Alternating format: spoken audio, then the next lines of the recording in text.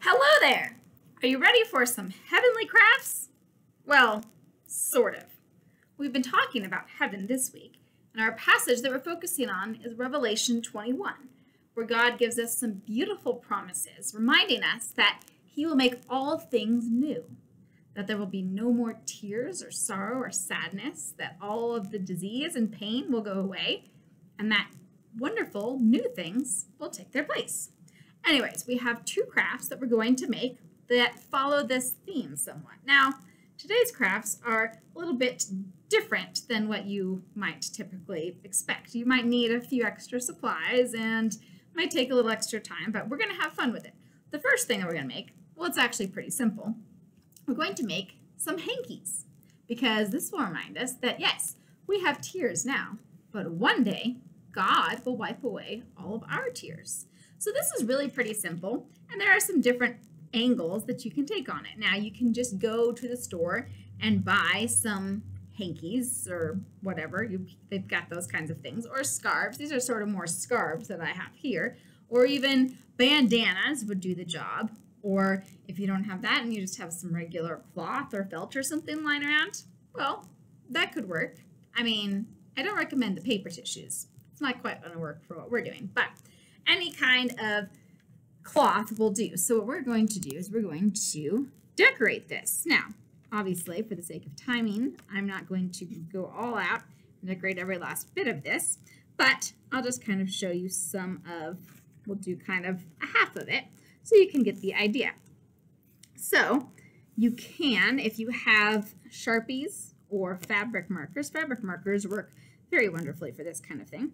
You can write on it with that so I might write something like, I could write the verse reference, Revelation 21,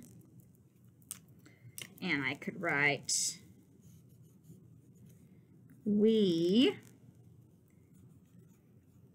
may cry sometimes one day God will wipe our tears. Something like that. Now, you could also write this on a piece of paper and attach it as well. Something like, God makes all things new. I could attach that.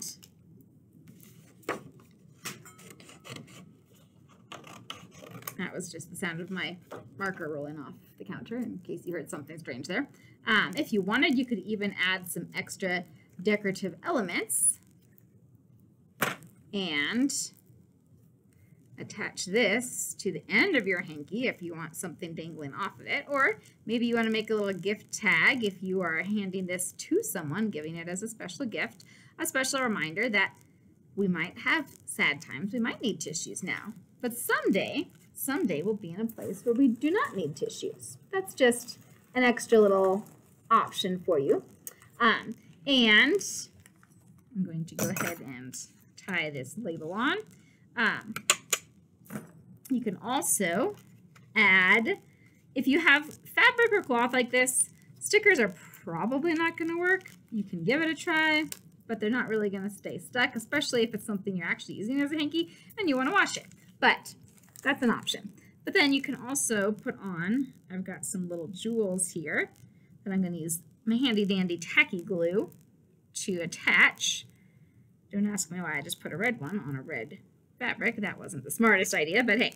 Um, so we're going to put on our jewels and you can add, um, if you've got puffy paint, you could even use puffy paint on this. Of course, then you have to wait for it to dry before you can give it to someone or take it home, but you get the idea. And then if you wanted to hang this and make it a decoration instead of an actual hanky, another reason for having the string there, which you could apply the string in other ways as well. But idea is that we have our lovely comforting reminder that even though we can feel sad and need hankies now, One day, God makes all things new.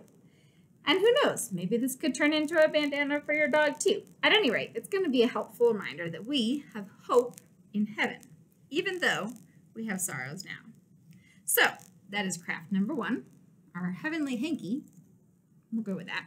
Craft number two, this is one that is great to do at home if you have an at-home crowd. Now, if you're teaching Sunday school in a church, in a church classroom kind of a setting, you can still do this. There are a couple of options, though, for you to accomplish the task. What we are doing is we are going to make some crayons. Yes, we are going to make some crayons. So this is going to go with the idea that God makes all things new, that he takes our brokenness and our sorrow and, well, really, he's going to kind of refresh and replace it with something completely new. But we're going to take something that's old and tired and turn it into something new as well. So for this, you're going to need some crayons. Now, this is great to do with crayons that are old, with ones that maybe have been broken apart, they've lost their wrappers, they've kind of just dwindled down to the little nubbins, and there's not really that much left. It might seem like the only hope for these crayons is to go in the garbage,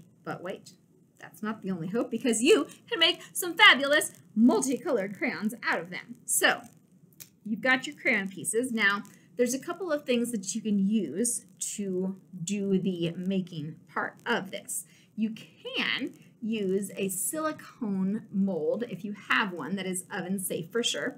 Now sometimes they have these in fun shapes. This is a little gingerbread man shape. Or you might even find them in like the letters of the alphabet and you can make alphabet crayons. Or if you do not have that or you don't want to use it, you can also just use regular cupcake liners. I would double these up because the wax and the oil does tend to kind of pool a little and it could leak into your cupcake pan. But, um, but you can use cupcake liners.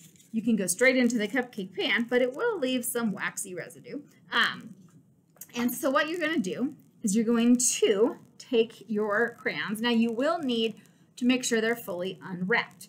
I happen to have already unwrapped these ones uh, because it takes a while to unwrap and it's kind of like skinning cats in a way.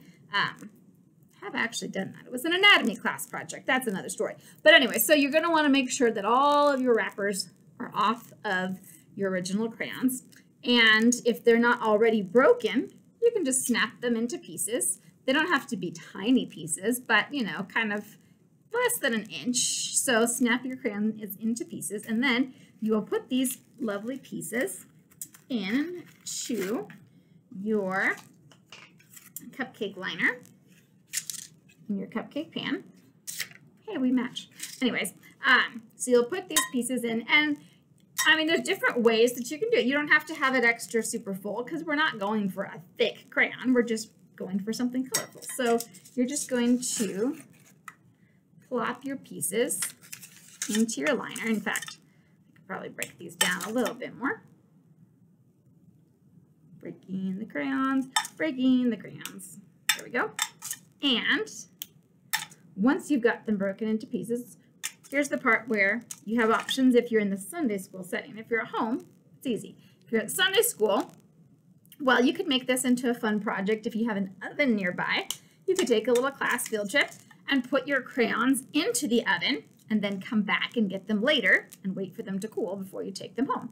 Or if you don't have easy access to an oven, this is a little bit more work on the teacher's part, but you can have the kids make their crayon molds and put some sort of a name label on it. Then you transport it home or to the church oven and you bake it and then bring it back the next week.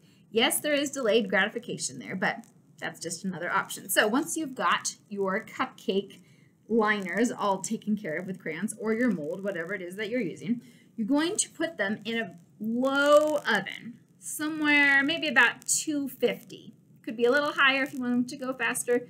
Could be a little lower if you don't want it to get too runny or bubble up. But 250 seems to do the trick. So you're going to put your crayons into that heated oven, not for very long, depending on how many you have and how thick they are. Really, you're only looking at maybe like seven to eight minutes. 10 at the max if you have a very low oven or not very well working oven, or you have a lot of crayons that you're making. But you're going to put that in there. And through the magic of television and preparing ahead of time, I just so happen to have the final product here. So once you've finished, you're going to let the crayons cool off, obviously, because they'll be pretty, pretty wet and melty when they first come out. And then, of course, you either are going to remove your cupcake liners or take them out of the cupcake liners or remove them from the silicone mold. Yes, I'm sneaky. I had one in there. And I'm going to take it out. And then you see where it is really pretty fun if you have that mold because then you have fun little crayon shapes. Ta-da! And it's still kind of fun if you have the crayon cupcakes, but it's not quite as shapely, if you will. Um, so you've got your wonderful little crayons here. And now you are free to go to town and use them. Once you get all that wax out of the way there. So you'll use it just like a regular old crayon and it's going to be different on different parts of it depending on what the colors are. But it's kind of fun to just play around with. And voila, there you have something new out of something that was old and tired.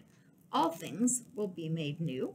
We'll have fresh chances, new opportunities. So it is a really fun, cool treat because kids can pick their colors and look at how the colors will swirl and redevelop. And is it a little bit of work? Yes. Peeling those wrappers off alone will take a little bit of time, but it's fun, it's adventurous, it's different, it's exciting. It's an option to remember that all things will be new and that heaven is our ultimate hope. So have fun with those, rearrange them, do something of your own. Feel free to tweak, adapt, but don't forget to come back next week because we have new crafts and children's messages all the time for you to work with your audience and your ministry, with whomever, wherever, whatever that might be. Hopefully this is a blessing to you and hope to see you again. Well, I won't see you, but you know, you'll see me, something like that.